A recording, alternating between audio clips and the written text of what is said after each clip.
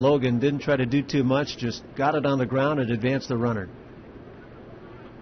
Curveball, it's lined to right field, and that is a base hit, dropping in front of Jensen. The throw home and out at the plate is Villanueva. He got a late start, waiting to see if the ball would be caught. I didn't notice, but he should have been down the line. There's no chance if it's caught to tag and score. It was a shallow line drive, so it's a single, but Villanueva is out at home.